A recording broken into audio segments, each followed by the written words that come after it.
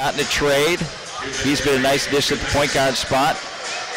Also, the other move is down low, just kind of fighting his way in and then finish with a right-handed hook, but he's not going to get it. Tolton, two-man game with Ebanks. Ebanks got Johnstown. I'm trying to post him up. Ndoye with a block.